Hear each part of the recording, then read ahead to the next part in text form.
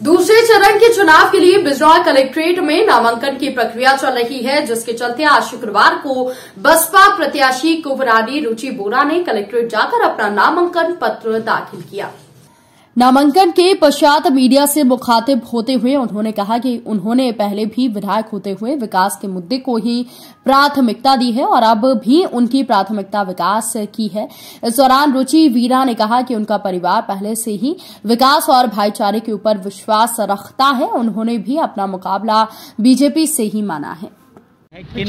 उन मुद्दों को लेके आपने मैदान में है? देखिए मेरा तो हमेशा ही विकास का मुद्दा है।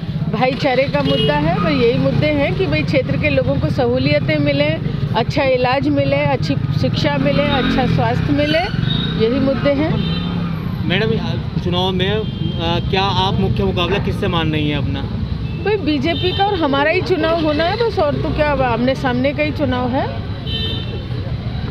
क्या प्राथमिकताएँ रहेगी आपकी? विकास मेरी प्राथमिकता रहेगी और आपस में भाईचारा कायम रहे, शांति व्यवस्था रहे। लोग आपस में प्यार मोहब्बत के साथ रहें। जो हिंदुस्तान की गंगा जमनी तहजीब है, वो कायम रहे।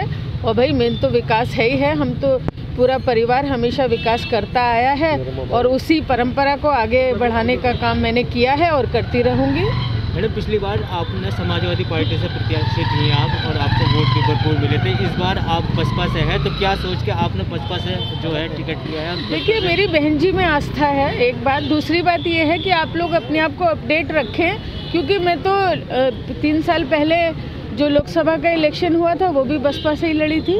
तो ये कोई बहुत पुरानी बात हो गई है। तो अब तो मैं बसपा में ही एमपी का चुनाव लड़ चुकी हूँ और बसपा से ही एमएलए का चुनाव लड़ रही हूँ। है।